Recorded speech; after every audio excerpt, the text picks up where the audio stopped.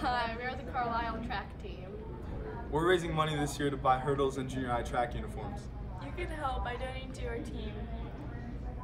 Please share this video and our fundraiser by posting on social media. Thank you for your support, and we hope to see you at our meets cheering us on.